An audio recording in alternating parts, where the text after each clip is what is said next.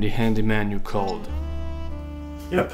So, I guess you need a hand, right? Yep. Hmm. So, what needs to be fixed? My heart. Someone broke it.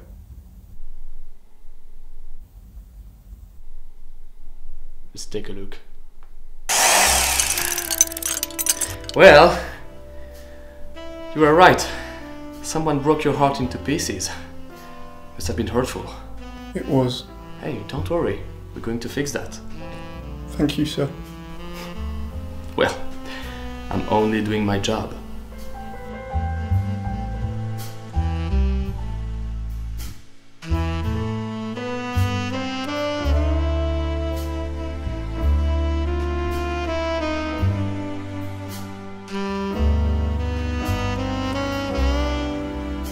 This will be the most beautiful gay porn movie ever made.